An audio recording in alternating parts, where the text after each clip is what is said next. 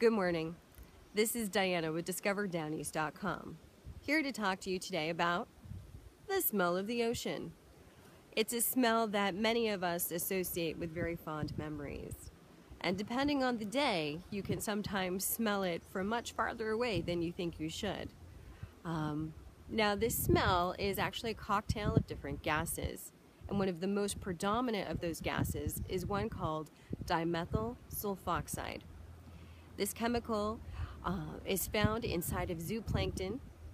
Um, commonly, we associate algae with being a type of zooplankton. Uh, it is also found in seaweed.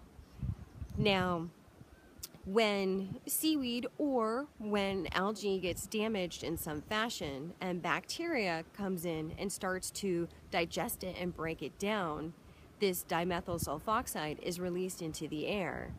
And this is the predominant sulfur smell that we associate with the ocean smell, if you will.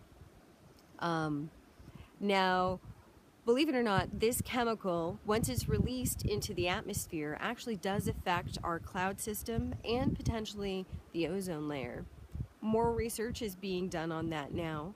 Um, there's a potential that all of the commercial seaweed harvesting that's happening could actually be affecting the atmosphere and the ozone layer.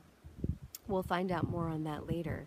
Um, but what I can tell you for sure is that when you're near the ocean, the salt in the air, uh, it's going to help you if you have asthma, if you have bronchitis, it's going to help if you're coughing. And also, if you're close enough to the ocean where there's sea mist that's spraying, you're going to be exposed to negatively charged ions, which will actually make oxygen easier for your blood to absorb and it will help balance out your serotonin levels, which means that being near the ocean makes you happier and more energized. So take a deep breath and come to the ocean. Have a great day. Uh, like us, subscribe to our channel, and we'll see you next time.